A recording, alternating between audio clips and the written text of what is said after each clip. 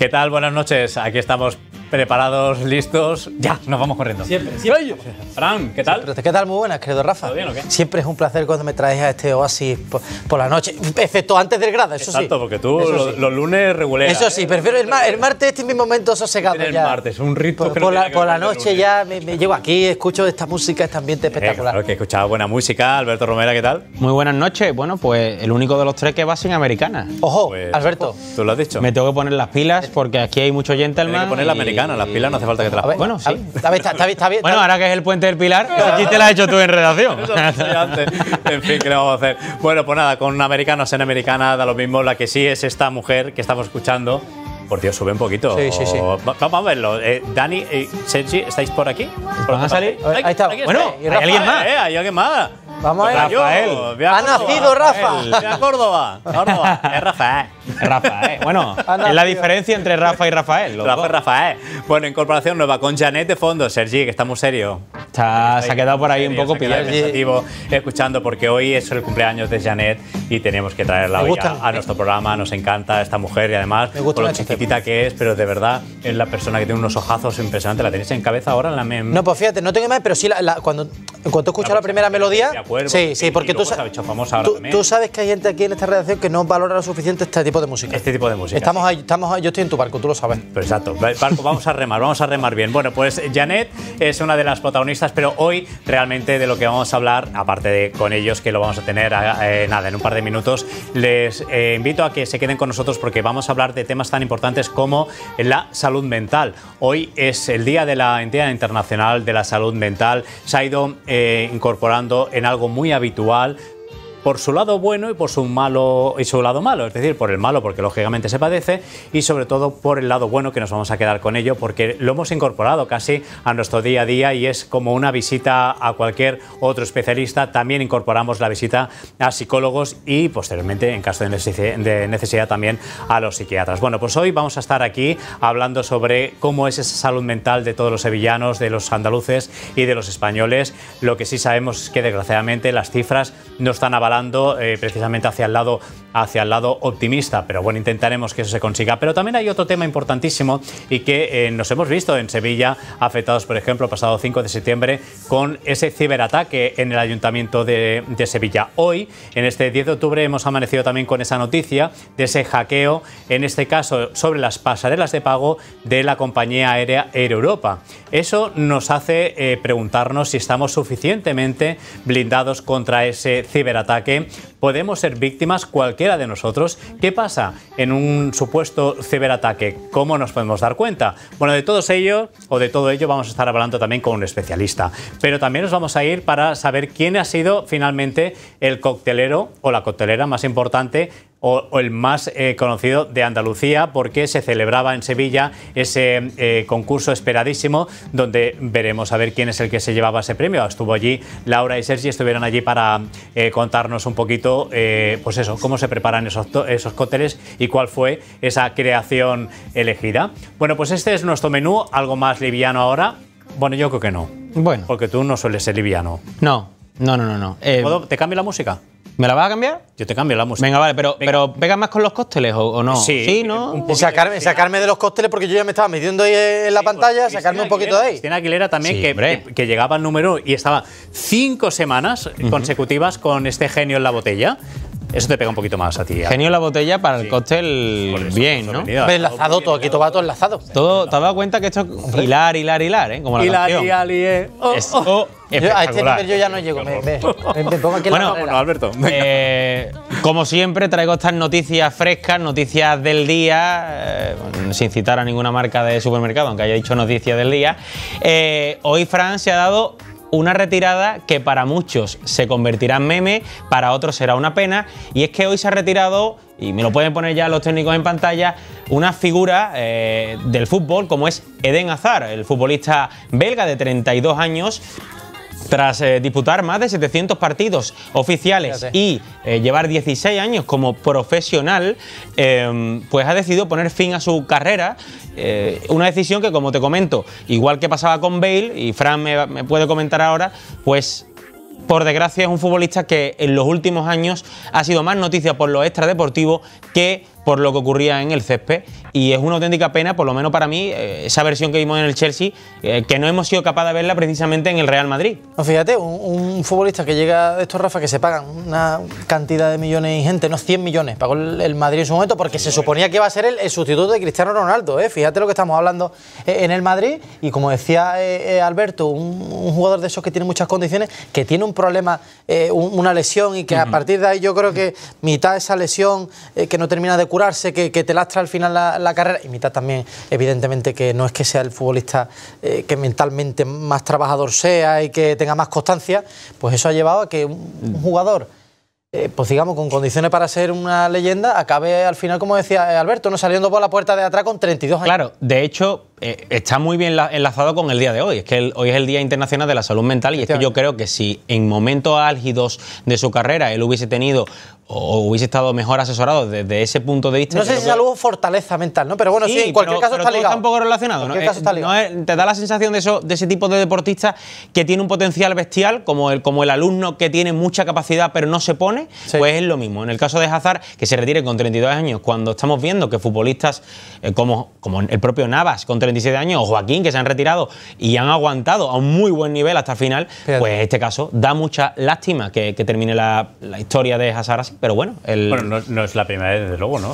No, no, no, Como no. Cualquiera, cualquiera de las áreas de Es el más llamativo, fíjate. Es- Eso en psicología se le llama también posiblemente que, que tenga algo que ver el síndrome del impostor. Ujú, conoce sí. porque realmente No merecer. tú crees que no estás capacitado para llegar a un sitio. Es y verdad, final está muy bien tirado eso, Te Rafa. mermas, te Está muy bien mermas y, y- y es posible o cuando la gente espera algo muy grande de ti. Este al final estamos hablando de la presión. Ahora que está el documental de Beckham en Netflix, Sí, que se habla mucho de la, de la presión, que yo recomiendo que la gente lo vea porque un poco, yo también me he acercado más a la figura de, de Beckham, lo que supuso, que, que yo creo que fue el salto ese del futbolista jugador de fútbol a la mega estrella y como empresa, ¿no? Pero lo que tú decías, esa presión cuando llega uno a- al Madrid que, que- que- que te puede comer. No Mira, mucho. yo, yo en- con el caso de Beckham, eh, yo tuve oportunidad de conocerlo personalmente eh, eh, y era tal despliegue lo que había Claro. alrededor de Beckham que cuando llegó Beckham, yo tuve que mirar dos veces. Claro, normal. Porque no, o sea, una persona tan sumamente como nosotros, Claro. Que Sí, todo sí, es verdad, alrededor, eh, a Pero mí me yo- sorprendió y creo y, y lo vi fuera de lugar totalmente, a él fuera de lugar de lo que le, le envolvía, ¿no? Sí, sí, lo que, que- que es Ese curioso. aura, ese aura también rodeaba a Diego Armando Maradona. Ah. Yo creo que esa es la primera figura que, siendo futbolista, tenía un aura de leyenda del rock. Claro, pero yo creo que tra- yo creo que lo que tú dices, Alberto, trasciende un poco la figura de lo que va más allá del jugador del fútbol. No es decir, ti- tiene, no, no solo vale con que juega al fútbol, sino que tienes que representar otra serie de cosas. Pero en el caso de Beckham y Rafa, fíjate, yo, yo te recomendaré, si no lo has visto, que veas el documental de Netflix, porque vas a. bueno, ¿eh? eh, eh, representa un poco. Yo también viví, no de tan cerca como tú esa época, pero tenías un poco en la idea lo que era esa llegada de Beckham, pero después cuando. ¿Ves la, esa- Todo lo que mueve. esa magnitud que había alrededor. Es que es lo que tú dices, ya, ya te, ah, incluso lo tenías cerca y te costaba pensar que, que fuera de verdad, porque Pues sí. el fútbol ya sabemos lo que, lo que, todo lo que engloba, ¿no? Y en este caso lo que decía Alberto, ¿no? Es cómo se come un jugador como, como Hazard, que, que- que también tenía Bueno, pues, pues nada, un día te traeré porque me regaló una camisa. ¿Sí o qué? Tengo una camisa de Beckham. Vaya, vaya es- victoria, ¿no? Vaya, Ah, vaya Ahora, pues, victoria. escucha, secreto, pues, victoria. pues, pues, pues el momento de venderla ahora, que ahora con el documental está fresco. No me des ideas Está que fresco. como al final llego a los 100 millones de este hombre.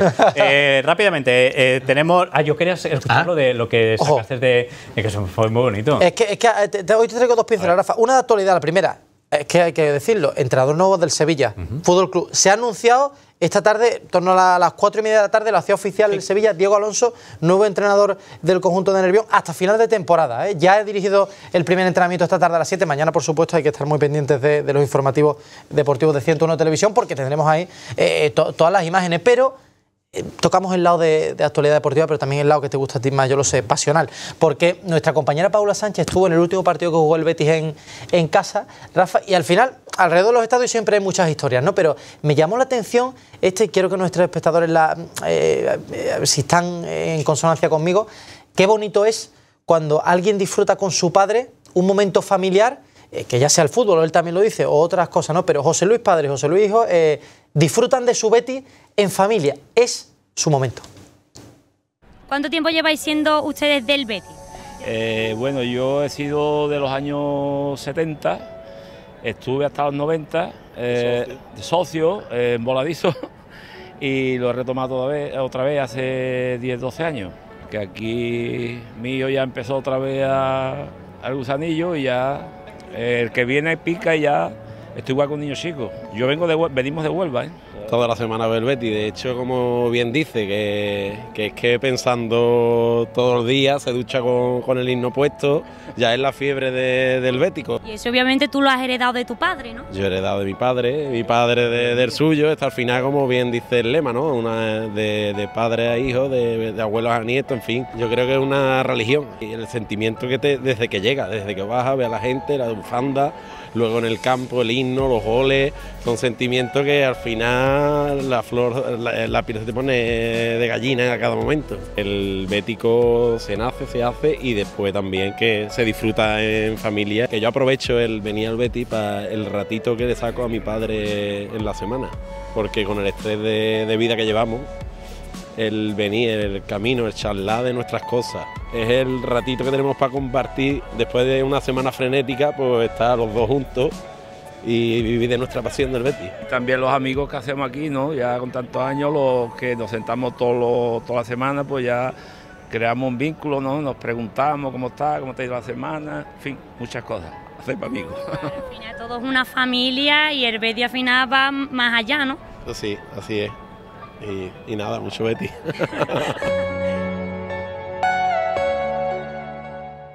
No estaba ahí, ¿eh? al borde de, de- de la lágrima. Me, me- me llamó la atención, Rafa, porque eh, fíjate, ¿no? Una cosa que parece tan cotidiana, y estamos hablando de la salud me- me- mental, y yo creo que va un poco todo, todo enlazado con eso, ¿no? ¿Cómo es tan importante para el hijo pasar ese ratito con, con el padre mientras el camino eh, en el Betty, hablando del Betty, pero de otras cosas también? No sé, a mí me, me gustó mucho. Muy bonito, la verdad que sí. eh, También un trabajo maravilloso también de las compañeras que, que se van allí a pie de, de campo también, ¿verdad? Sí, sí, Es algo Paula que- Sánchez que ahí está es donde se ven la- las historias también. Ah, no, por supuesto, ahí. ahí. Esas historias eh, y sobre todo la parte positiva de todos los deportes, que estamos también acostumbrados a ver una parte negativa, ¿no? Y realmente esto es lo que tiene que ser al fin y al cabo el, el deporte, aparte de lo que pasa en el terreno de juego. ¿Qué te pasa?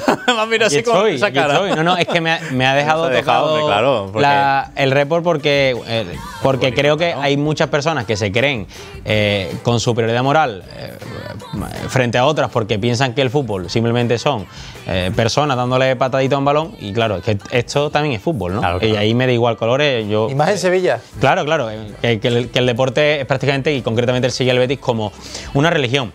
Bueno, vamos con otras noticias, Venga, cambiamos de tercio. venga, eh, ya está- seguramente ya estarán Sergio y Dani, estarán maquinando con Rafa a ver qué me va a soltar, qué colas tengo que soltar en la tele. A. Vámonos a unas islas, ¿no? Pero por una noticia medio desagradable. Para los niños, no tan desagradable. ¿Por qué? El gobierno canario ha suspendido las clases en todos los niveles por las altas temperaturas. Mañana miércoles y el viernes, recuerden que el jueves es festivo, no habrá clase en el territorio canario. Eso sí, en las universidades todavía están a la espera de saber qué va a ocurrir. De momento, los rectores tienen que reunirse, pero ha habido bastantes desmayos en las aulas y esta ha sido la noticia eh, que salía a principio eh, de la tarde de hoy y que eh, ha copado bueno, todos los, eh, todas las portadas de, de los medios eh, digitales y sobre todo ahora mismo esta es la noticia que, que- que reina en, en Canarias. Los niños estarán contentos, creo yo. Pero- pero- los padres no sé si tanto, pero... Pero, pero es curioso, porque pero qué temperatura. Claro, por digo qué temperaturas tendrán, ¿no? No lo es sé. verdad, es cierto que, el- que el, eh, nosotros estamos acostumbrados a los colegios, la mayoría, están preparados Sí. durante la- eh, las épocas en las que nosotros sufrimos tanto las olas de calor como las olas de frío. Quizás aquí el frío no estamos tan preparados, pero es verdad que con la ola de calor, pues lo hemos visto, ¿no? Que ha tenido, de hecho, la consejería que, que empezar a, a cambiar y poner rápido aire acondicionado, ubi- reubicar, porque cuando hemos tenido olas de calor muy tempranas, Sí. han sido muy problemáticos, no salían los niños al recreo, por Claro. ejemplo, por, la, por miedos a, a esos golpes de calor, etcétera, etcétera. Así que te- supongo que tienen que tener una temperatura bastante alta allí en, en señor. Canarias Sí. y, y la verdad que, bueno, nosotros de momento no, y, y si vosotros pretendéis liberaros por calor, No, no, ¿eh? no, no, no. Vaya, Aquí- yo, ya está, yo iba con la percha, como estamos Ya, cogiendo ya, siempre yo- la yo ya percha. para- me está derivando esto a un sitio que no quiero ir. Claro. ¿Sabes dónde no hay esas temperaturas altas? Pero sí podemos eh, ver todo desde el cielo. En los globos aerostáticos.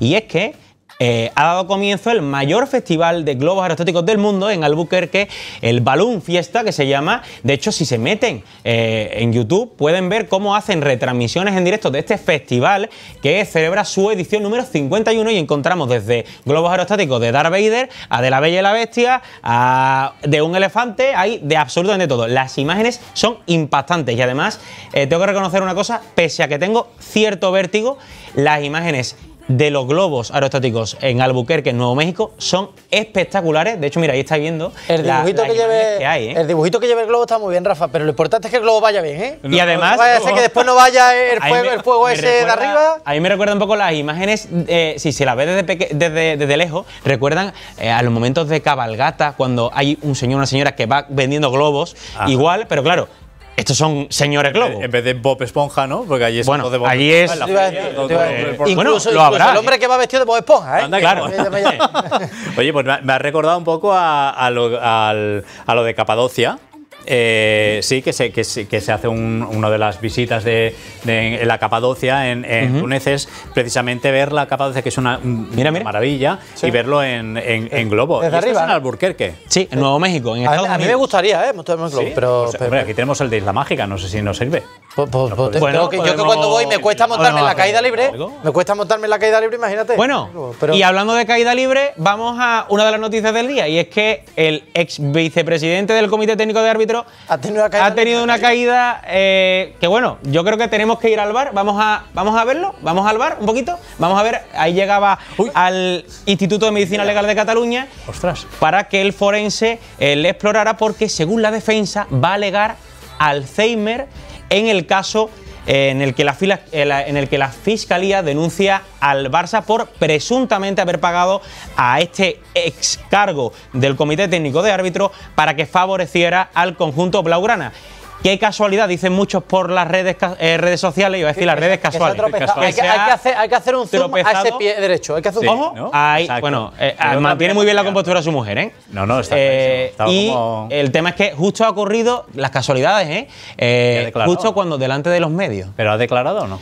Parece ser que ha declarado. Ha No, él, estado- él ha- no, han lo que decía. el- Ah, porque es la exploración. Claro, El él, ha argumen- él ha argumentado que tiene esa, esa- ese problema que, que de salud que, que, bueno que, le- que Claro. impediría que le juzgaran eh, como si estuviera en, su, en su, Claro. todas sus facultades. El tema- No lo veo yo muy claro. Pero vamos, yo no creo que sea provocado, ¿no? Provocado no sé, pero penalti no hay, ¿eh? No sé, es, es que, es que es difícil. Rafa. Estas cosas ya la, la gente es capaz de cualquier cosa. Es que tampoco te puedes ya. ¿Qué hacemos? Pues esto ahora mismo ha sido tendencia en X, el antiguo Twitter, hay que decirle X. Pues ha sido Y tendencia. Y el simbolito del bar, ¿eh? Todo, Sí, todos sí, lados, sí, todo sí. el mundo llamando al bar, bar, con el gancho, todo, todo el mundo siguiendo tu, siguiendo tu tendencia de, Claro. de hilar las cosas, pues todo el mundo al bar. Claro.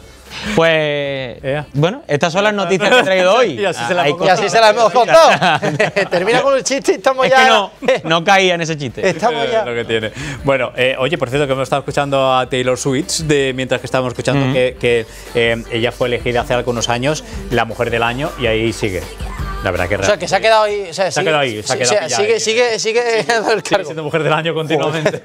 Qué suerte, Continuamente. La verdad que es una pedazo de artista con, Sí, con llena todos, la- todos los No, no, sitios. vale, que ¿Has va. visto la- el último Pero? ¿no te parece, Rafa, que tiene más. más, más- o sea, ¿cómo te diría? Más, más, ¿Lady más- Gaga o qué? Eh, no, que, que es como más conocida fuera de España que aquí. O sea, no lo tengo yo como, como una referencia aquí en España, ¿no? Que, que- Bueno, porque tampoco se ha prodigado mucho aquí. Eso es lo que te quiero decir, que es como un artista más internacional que, que- que Sí, en este caso, eh, o sea, me refiero, ¿no? Eh, El mercado eh, estadounidense, latinoamericano seguro, europeo, pero no en concreto aquí en España. Tengo yo esa sensación. Porque aquí no ha- quizás eso no nos haya hecho ese o hayan apostado más por el, Sí. por el mercado, que aquí tenemos también grandes artistas y bueno, pero bueno, que es una pedazo de artista brutal y además ella es una seguidora de la música en español, que se le ve siempre en los late- en los Latin y en los Grammy, eh, se le ve siempre cantando las canciones de Rosalía, por ejemplo, que, le- Sí. que es una seguidora férrima de, de Rosalía. Así que nada, desde aquí un saludo muy grande a ella y a Rosalía. Oye, que nos vamos a ir, ¿no? Sí, bueno. ¿Bailando? Se me ha hecho, co- se me ha hecho por si acaso. ¿Quieres seguir si comentando acaso- noticias? por si acaso- Yo por si acaso voy a guardar el móvil porque. ¿Por qué? Ah, por lo de, ah, digo, ¿por qué? Porque me da miedo lo de los Ah, bueno, no, ciberataques. muy atento a eso, muy atento Pues- a eso pues porque es muy interesante, ¿eh? lo de los todo. ciberataques, porque el- esto estamos en el 10 de octubre, hace un mes y algo, y aún, aún estamos, si entramos en la, panta- en la página del, del ayuntamiento, aún se sigue viendo eh, que todavía está en el proceso y muchos, por no decir que todos los trámites, todavía no se pueden hacer. Pero si nos quedamos con esa pantalla, porque esa historia, si nos remontamos en el tiempo, nos vamos a ese 5 de septiembre, como digo, y aparecía esto. Es la pantalla que veíamos eh, cada vez que accedíamos a esa página web del Ayuntamiento de Sevilla. Eso sucedía el 5 de septiembre. Pero hoy nos hemos levantado con otra pantalla, si ustedes son viajeros y, eh, por ejemplo, tenían contratado un vuelo con eh, la compañía Air Europa, si accedían o si no, han recibido directamente este mensaje. También esta compañía aérea se ha visto hackeada en ese lenguaje en el que todos conocemos, es decir, que ha sido ciberatacada.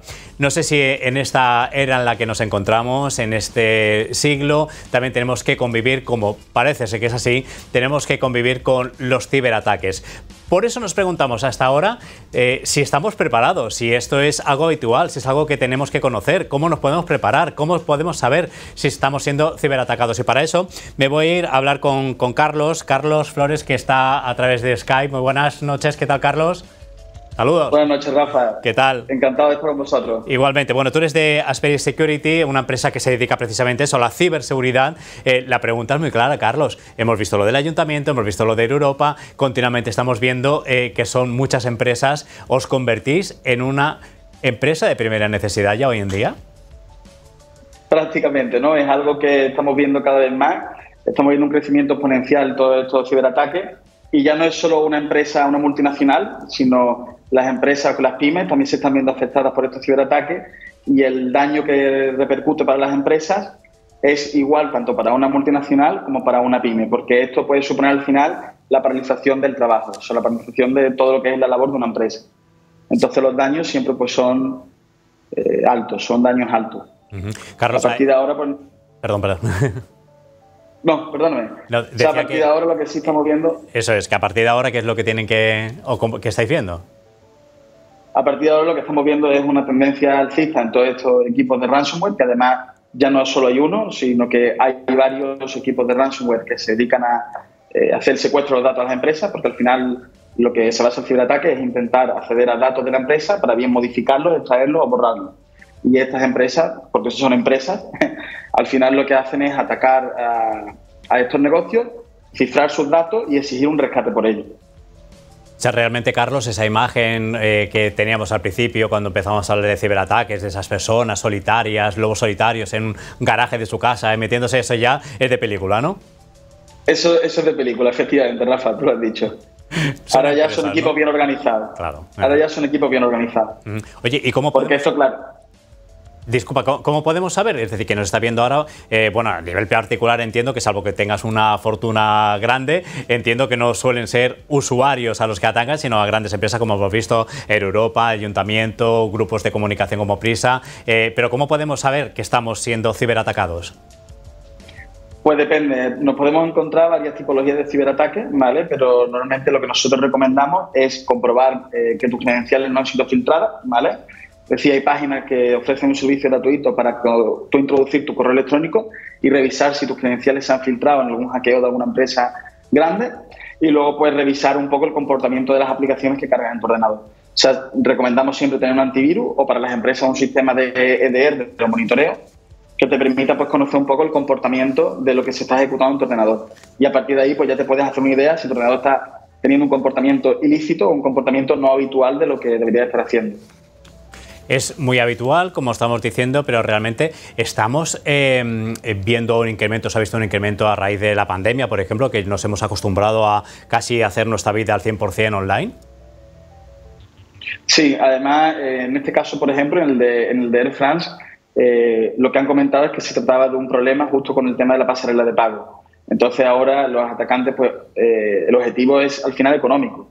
Entonces, si pueden conseguir datos de pago de usuarios que puedan realizar uso de ellos posteriormente, pues esto para ellos supone un beneficio económico. Entonces de ahí que se vaya a atacar este tipo de datos, que son datos pues que al final les puede resultar en, un beneficio económico a estos atacantes.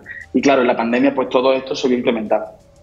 Carlos, en vuestra empresa entiendo que habéis visto eh, cómo, se incrementaba, porque esto ya no, es una cuestión de decir algo que es una opción, sino ya casi es una obligación tener eh, esta manera. Eh, os tenéis que ir adaptando, ¿no? Entiendo que esto va variando y cada día o cada minuto cambian. Esto cada, cada, minuto cambia y cada minuto una empresa no está siendo atacada. Nosotros tenemos un servicio que monitoreamos todo lo que son los datos de la dark web y los datos de foros de ventas de bases de datos y estamos continuamente al día de cuáles son las empresas que están atacando. Eh, la semana pasada detectamos que la Agencia Catalana de Noticias fue atacada. Eh, nosotros conseguimos reportar el ataque, pero también lo gestionaron desde, desde aquí, desde Cataluña.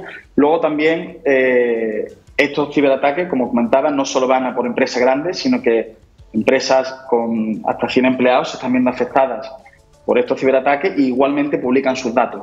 O sea, aquí no, no se libra nadie.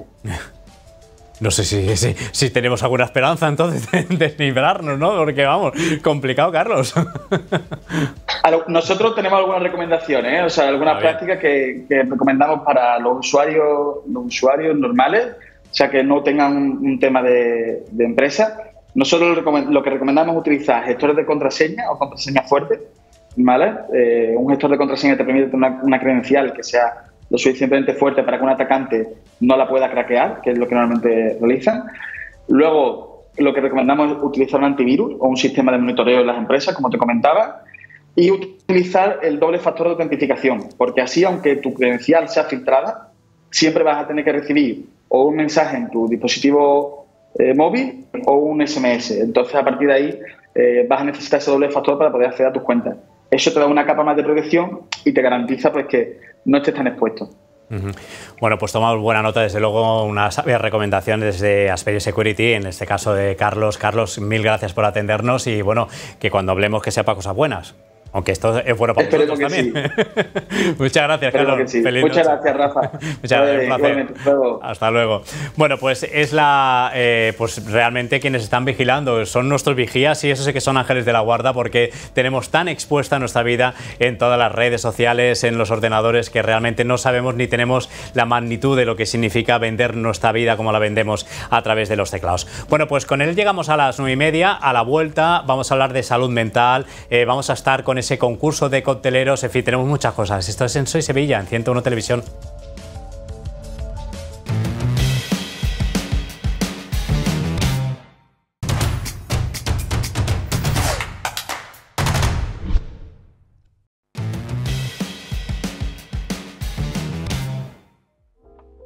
Los, días, los datos eh, sobre la salud mental, desde luego, reflejan perfectamente cuál sería nuestra fotografía sobre este asunto.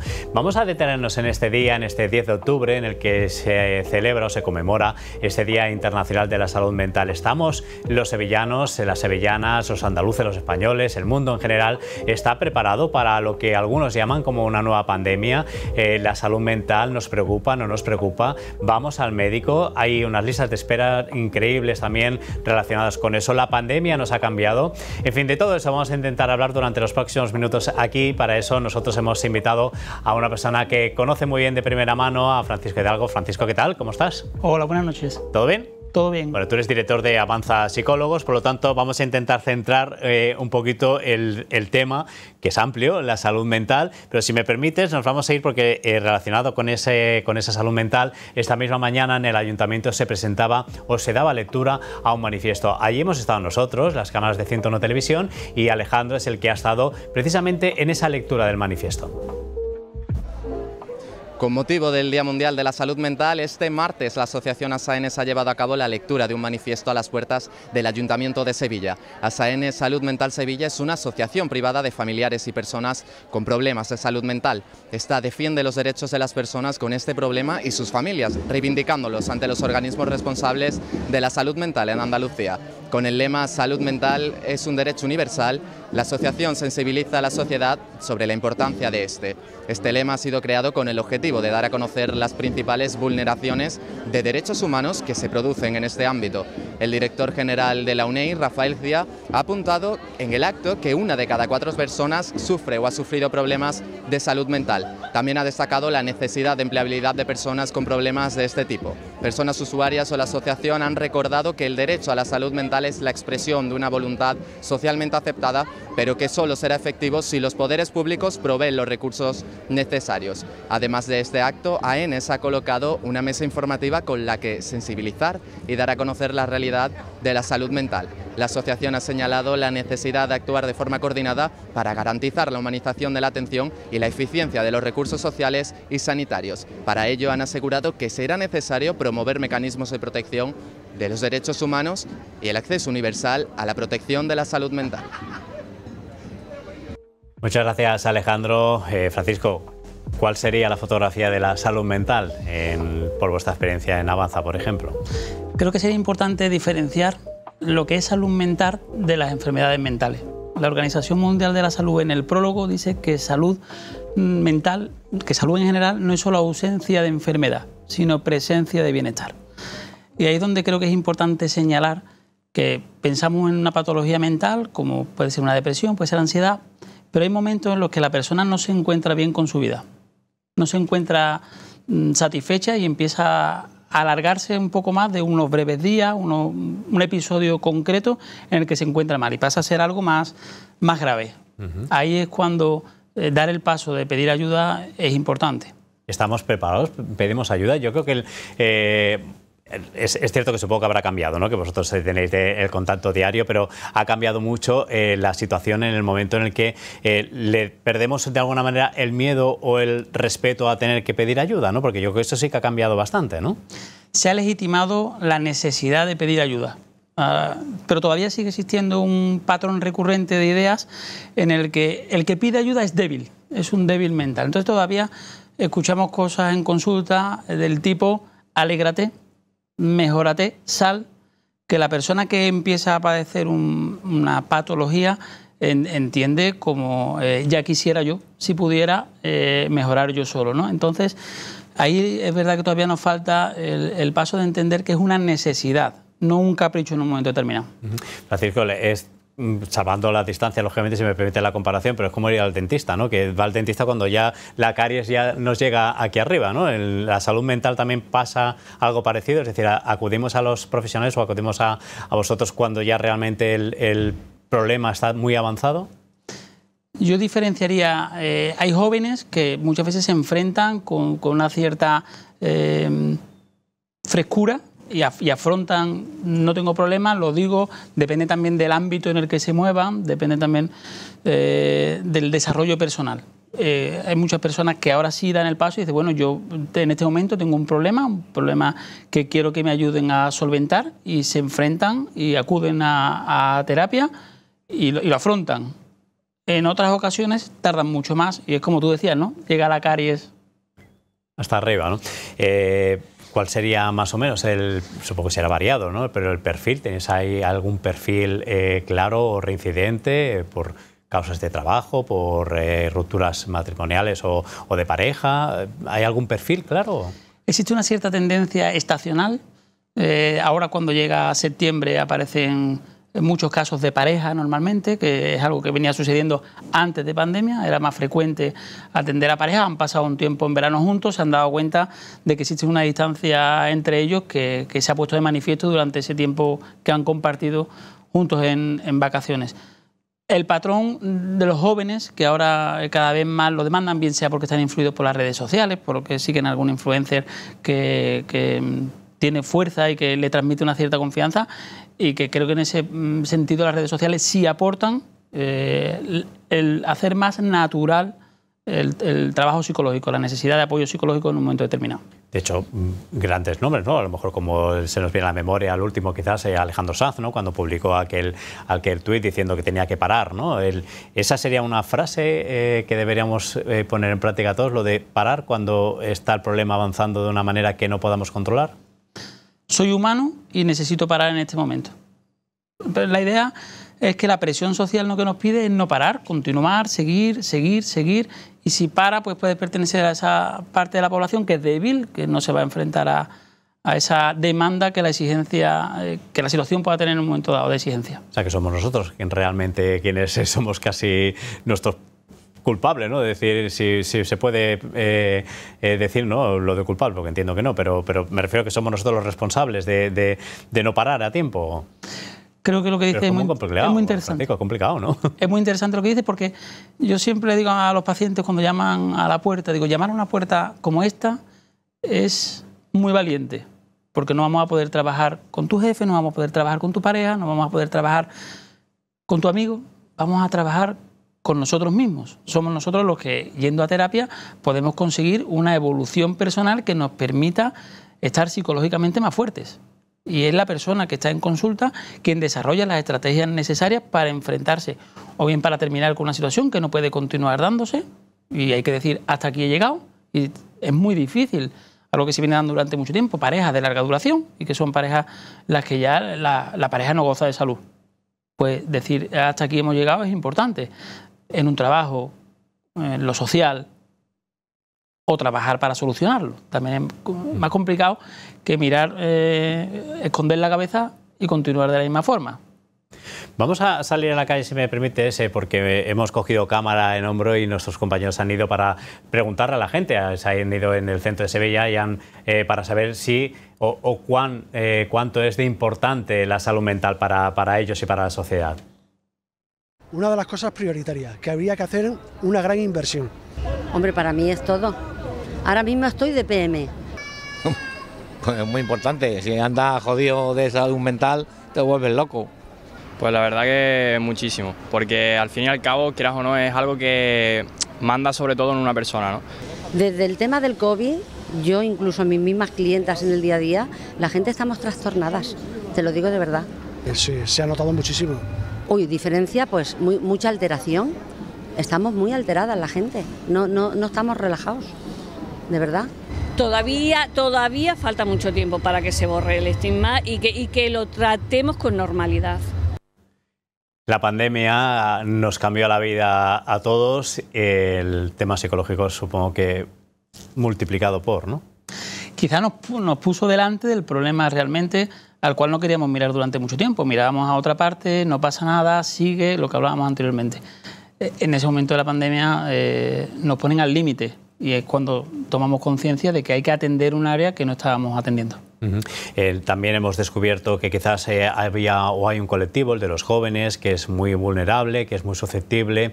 Eh, realmente las redes sociales, todo ese tipo de, acciones o, de manejo en, tendemos a tener que leer, desgraciadamente, pues esas causas o una de las causas principales de, la muerte, por ejemplo, en los adolescentes ¿no? o en jóvenes entre 14 y 29 años. Eh, ¿Por qué llegamos a, ese extremo, Francisco? Los jóvenes soportan mucha presión y a veces eh, creo que hay que comprenderlos. Yo pongo siempre una metáfora que es la del, la del teléfono móvil cuando se actualiza. Nosotros no podemos hacer una llamada, no podemos mandar un WhatsApp, no podemos mirar un correo electrónico. En el cerebro de los adolescentes, hasta los 25 años, pasa algo similar, se está actualizando. Se están creando nuevas conexiones con el área prefrontal del cerebro y eso hace que sean impulsivos, que a veces eh, eh, tomen decisiones un tanto eh, difíciles, un, tanto inverosímiles para un adulto. Pero claro, es que son los adolescentes, no se nos puede olvidar. ¿Crees que, que conseguiremos tener todos una salud mental estable, cuanto menos? Bueno, eso? ¿Es utopía? Yo creo que la, salud es pensar eh, que no vamos a utilizar nunca más los servicios de un dentista, los servicios de un fisioterapeuta. Creo que es algo que estará siempre presente, que tendremos que trabajar en ello. Pero creo que la normalización y tomarlo como algo necesario y como algo saludable eh, va a hacer que cada vez tengamos una salud mental más equilibrada y con más capacidad. O sea, que realmente esa es no solamente recomendable, sino además que yo creo que es necesario, ¿no? Como tú decías, son unos profesionales que no hay que acudir cuando se llega en el momento en el problema que no es porque no tenga solución, solución tendrá seguro, ¿no? Esa es vuestra labor, pero sí a lo mejor si se coge un pelín antes, eh, las consecuencias son menores, ¿no? Si llegamos cuando la sintomatología no se ha establecido, eh, no, llevas eh, X días sin salir de casa, llevas unos días que te cuesta trabajo, pero te has dado cuenta que sobrepasa un mal ciclo, mm, pero te puedes reponer ahí. Puedes decir, yo esto eh, con ayuda lo puedo superar. Cuanto antes veamos la sintomatología y dejemos de considerarnos débiles, es el momento de ir al psicólogo, como he ido al gimnasio, me lastima un poco y es el momento de ir al fisio. En todos esos años que, llevas ejerciendo, eh, ¿ha cambiado mucho, eh, no la psicología, sino ha cambiado mucho el, tipo de paciente? Es decir, tú has visto, entiendo, ¿no? que lo que pasaba hace algunos años no tiene que ver, o sí, o no sé, no sé, no tengo, no tengo conocimiento sobre ello. Bueno, creo que la vida en general ha cambiado bastante. Las redes sociales, la tecnología, etcétera, creo que nos influye muchísimo. Eh, pero al final seguimos teniendo mm, conductas humanas en cuanto a, a problemas del día a día, del exceso de trabajo, del estrés, de la necesidad de querer cumplir con las expectativas que tienen sobre nosotros. Eso no ha cambiado. Al fin y al cabo puede ser de una forma eh, diferente, pero en su base sigue siendo lo mismo. Y la comunicación, en definitiva, ¿no? que sí que ha cambiado la comunicación y, y eso ha hecho también cambiar la forma de, de- de entendernos. Eh, Francisco, mm, mil gracias por aclararnos. Yo creo que nos hemos quedado con unos conceptos clarísimos y sobre todo eh, me gusta ¿no? la, la- la tranquilidad y la- el sosiego con lo que tratas algo tan importante como la salud mental y que yo creo que es lo que al fin y al cabo hemos transmitido a la gente que nos está viendo en, en su casa. ¿no? Principalmente pienso en los padres que muchas veces eh, acuden, entiendo también, ¿no? los padres preocupados por los hijos ya que los hijos no dan el paso. No entiendo que también es un perfil que, que tienes que, que tratar. Que mil gracias, de verdad, es un placer conocerte. A vosotros. Bueno, pues ahora te voy a invitar, vamos a cambiar radicalmente de, de asunto porque hace nada, un par de días, se celebraba aquí en Sevilla una de las finales más esperadas, que era, eh, no sé si te gustan los cócteles o no, Francisco, nosotros hemos probado los de sin alcohol, que para eso es la hora que es, pero eh, si te gustan, desde luego se ha hecho y hemos, eh, os ha elegido ya el mejor coctelero o Batman que se llama eh, de toda Andalucía y como digo, se hizo aquí en Sevilla y cómo no, nuestra Laura y nuestro Sergi se cogieron y se fueron para allá para conocer cómo se elige al mejor coctelero de Andalucía. Rafa, te preguntarás qué es esto. No, no es el nuevo micro que, lo he cambiado. Es el premio al mejor coctelero de Andalucía. Y es que hoy busca a su dueño. Y nos hemos venido al primer concurso que se va a hacer aquí en Sevilla del mejor coctelero de Andalucía, aquí en el Montana. ¿Por qué no entramos y lo conocemos?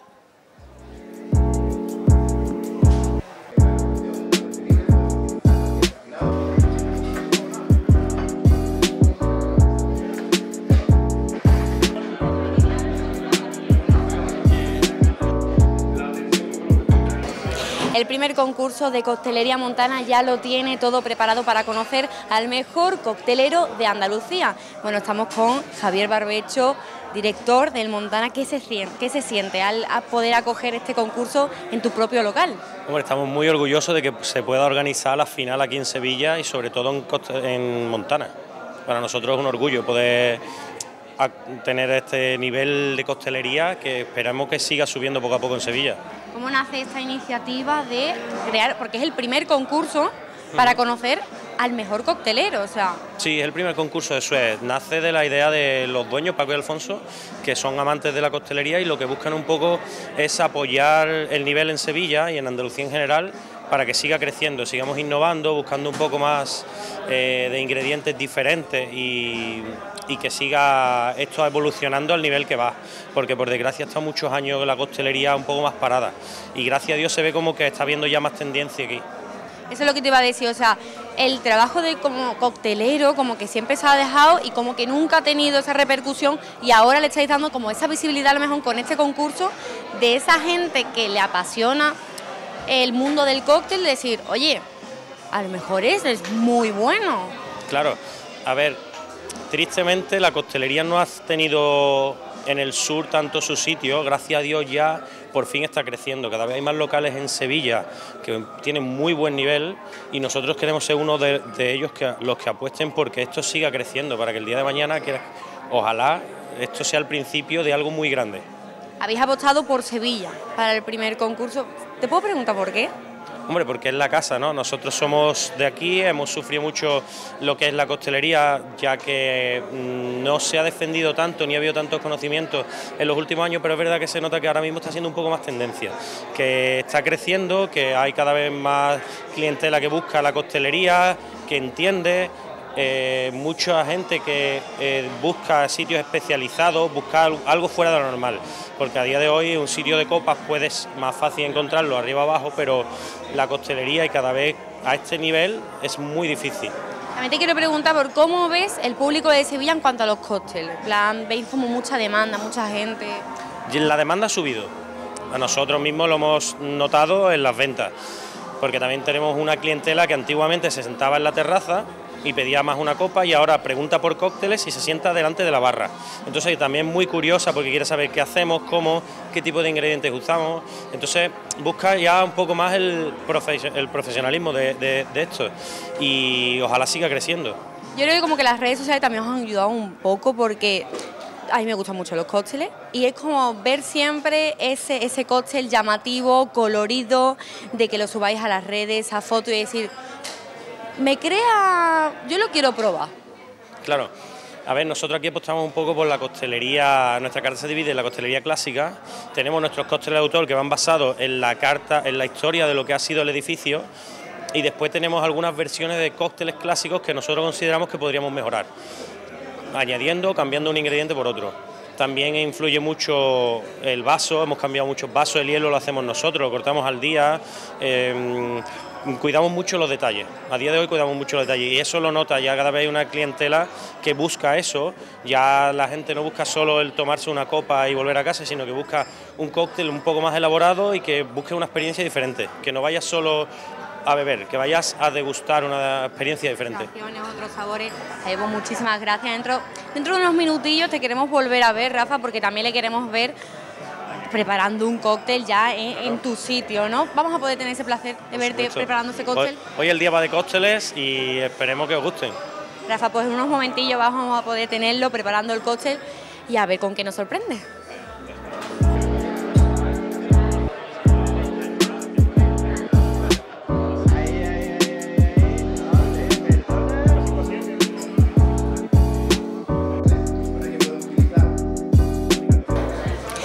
Rafa, no sé si os acordaréis, pero estamos ahora mismo con uno de los protagonistas del primer reportaje del Soy Sevilla, con uno de los jurados de este concurso y uno de los mejores Mixing Master que existen Colón. Qué alegría volver a estar contigo, volver a verte. Hola Laura, me encantado estar de nuevo contigo. La, verdad que la última vez nos quedamos con un poquito de ganas de algo más por lo que pasó, pero bueno, aquí estamos, el día ha llegado y hoy estamos listos para pasarlo muy bien aquí en Sevilla con, todo, con toda la gente. Hoy ya sí que sí, el concurso, hoy ya sí que sí, jurado. ¿Cómo te esperas el concurso de hoy? Pues la verdad, por lo que ya estuve revisando, creo que hay un nivel bastante alto. Son todas grandes promesas de la coctelería nacional, lo que me hace muy feliz. Al final nosotros ya estamos entrando en una edad eh, más avanzada y es- está bueno ver cómo vienen las nuevas generaciones de bartenders, eh, muy formados, muy profesionales todos. eh, pues me sirve mucho este tipo de eventos para, para un poco para calibrar el, el tipo de profesionales que, que- que vienen detrás nuestro. Para ver más o menos ahí. ¿En qué nivel está la coctelería en la época dorada?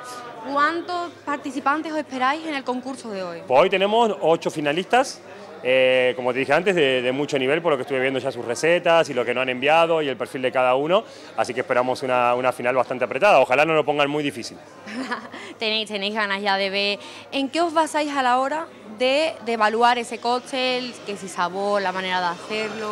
Bueno, al final buscamos un poco una media de todo, ¿no? Es importante a la hora del sabor, por ejemplo, eh, que haya un balance, que haya un equilibrio, que no despunte ni, ni lo dulce de lo ácido, ni lo ácido de lo amargo, sino que haya ¿no? una armonía en los sabores, eso es lo principal. Después, obviamente, en, el- en el- en cómo percibimos el cóctel, ¿no? en, el nivel creativo, eh, y también lo que nosotros hablamos, el storytelling, ¿no? la historia que cada participante pues, eh, desarrolla detrás de, ese cóctel. Al final se trata un poco de justificar todo lo que al final nos- el trabajo que hay detrás y lo que, no- y lo que nos presentan. Entonces, pues, a partir de ahí sacamos una media de todo. Lo que digo, al final en cómo percibimos el cóctel con la vista, con, el- con el- el- los aromas, los sabores y también un poco la creatividad a la hora de- de defender cada uno su cóctel.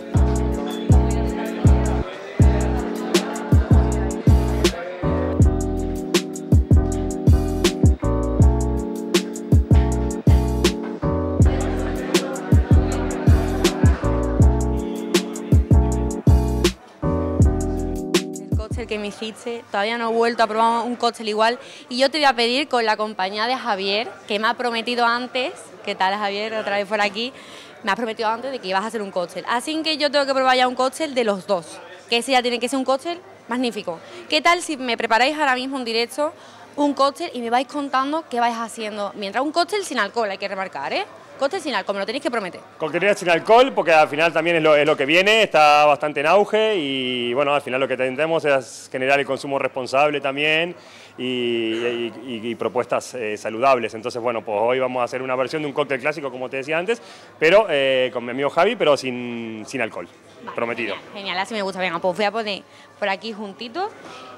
Y mientras que os voy ah, viendo haciendo estas maravillas, pues quiero que me contáis qué vais haciendo poco a poco que vais juntando, que vais mezclando. Yo os dejo vuestro espacio. Vamos a un poquito de. Muy bien. Vamos a hacer una versión de un cóctel, de un clásico de la coctelería italiana, que se llama americano, ¿ok? Pero lo que vamos a hacer nosotros es nuestra versión de un americano, o sea, que es sin alcohol. Me lo acabo de inventar, pero creo que me ha quedado bastante... acabo de pensar. Y lo que vamos a hacer va a llevar una... O sea, la receta clásica con alcohol lleva ginebra, vermú y soda. Y en este caso lo que vamos a hacer, utilizamos una ginebra sin alcohol, Vamos a usar un vermú sin alcohol también, a base de, mm, este, mm, ¿de verdad? Eh, bueno, del, lim- del limón italiano y eh, nuestras Schweppes de, de flor de, de hibiscus. Entonces creo que nos va a quedar algo bastante presentable, rico, eh, atractivo para todos y, y- y sin alcohol. No, dulce no, al contrario, es un, un cóctel más amargo, más de, de corte aperitivo. Vale, vale, genial. Javi, mira. Pues Ahí empezamos a a enseñar. Tenemos un destilado de cítricos. Le echas ahí el poquillo. Tenéis las medidas ya Sí, cogidas. sí, sí, lo vamos a cortito. Tenéis ya la medida cogida. ¿Tú quieres continuar? Bueno, bueno, media cogida lo que usamos es un jigger, es nuestro medidor, evidentemente para los que no saben esto es un jigger, es un medidor, lo que hacemos con esto es medir las cantidades para estandarizarlas.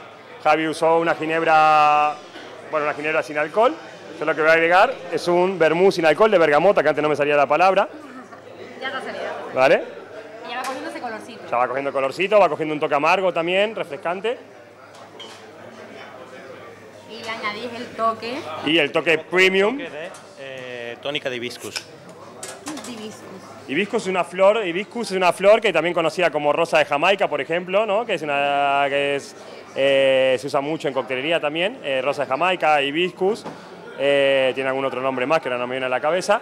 Y eh, usamos la tónica de la línea Selection de Schweppes, que tiene una, bueno, por la línea Selection, la gama Premium de Schweppes, que tiene unas ginebras, eh, unas tónicas excelentes, eh, los sabores están muy bien logrados, los aromas son muy naturales, la burbuja es muy persistente, que al final es lo que buscamos en una tónica Premium, eh, como, como- como en el caso de Schweppes, ¿no? Como mundialmente conocida. Así que, pues mira, muy fácil. Vamos a lo que hacemos, vamos a incorporar un poquito Ahí para mezclar. para mezclarlo un poquito, no demasiado, porque tampoco queremos que nos quede sin gas la tónica, solamente para incorporarlo. ¿Qué te gusta hacer eso? Ya, ¿eh? ¿viste? ¿Qué te gusta? ¿Qué Y una tenemos- vamos a, vamos a hacerlo un poquito más guapete. Más bonito ya de decorativo, ¿no? Ya está, está bonito, igual también es verdad que la tendencia en la coctelería ahora es tiende al minimalismo, no lo exagerado, ¿no? Si te acuerdas bien, hace algunos 10 años hacíamos un gin tonic, ¿no? Todos nos acordamos de la ensalada de frutas, flores, especias, eh, semillas. O sea, había, entonces, bueno, pues gracias a Dios eso ya son ciclos, ya lo hemos pasado y ahora volvemos a lo, a lo minimalista donde, donde premian el sabor, los aromas y la calidad de la materia prima sobre todo. Vale, genial. ¿Lo puedo probar? Porque yo Por favor, se está, se está calentando. Se está calentando. Ya más tarde. Lo pruebo, ¿eh? sin alcohol, que hay que recargarlo, ¿eh? Coctelería sin alcohol, que es lo que viene en auge. Toquecito de naranja. Ay. Para mejorarlo. Es que yo soy muy impaciente, yo soy muy impaciente. Una naranjita. Bueno, probar, ¿eh? A ver si, a ver si se nota la naranjita. ¿Qué te parece? ¿A que no está mal? Si no te decía que no llevaba alcohol, no te dabas, no te dabas cuenta. No me daba cuenta, ¿A que no? ¿eh? ¿Viste? Está muy conseguido, la verdad que Está muy conseguido. Colo, Javi, de verdad que muchísimas gracias por hacerme esto, porque es que... Pero también me estáis castigando un poco, porque yo luego me pongo a beber otros cócteles y igual no me sabe. Bueno, pues si bebes de esto, si bebes de esto no, no pasa nada. Puedes ver todo lo que quieras. Pues muchísimas gracias, os voy a dejar ya con el concurso que tenéis que estar ya atentos para Muy ver bien. cuál es el mejor costelero de Andalucía. Impaciente por saberlo. Chicos, pues muchísimas gracias, Gracias, Rafa. Nosotros nos quedamos aquí a ver este concurso y a ver quién es el mejor costelero y quién se lleva este premio. Pues muchas gracias Laura, Sergio, por ese reportaje. Nosotros nos vamos, ¿eh? mañana volveremos. Mañana vamos a tener, eh, entre otras, eh, otros invitados, va a estar aquí el hermano mayor del Balme, que ya saben que el domingo vamos a estar retransmitiendo en directo esa salida de esa romería, la tercera romería más importante de este país. Estaremos aquí en directo hasta la llegada al cortijo de cuartos. Pero también vamos a tener a tu otra bonita, al grupo que va a presentarnos aquí su música. Entonces todo eso en Soy Sevilla. Aquí les espero. Adiós.